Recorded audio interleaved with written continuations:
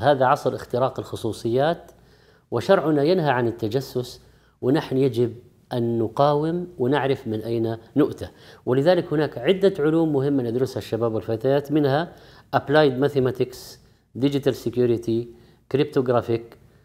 ستيغانوغرافي Ethical Hacking Digital Forensic Big Data Digital Analytics Operating Systems Unix Linux وأشياء كثيرة وهذا من القوة وأعدوا لهم ما استطعتم من قوة.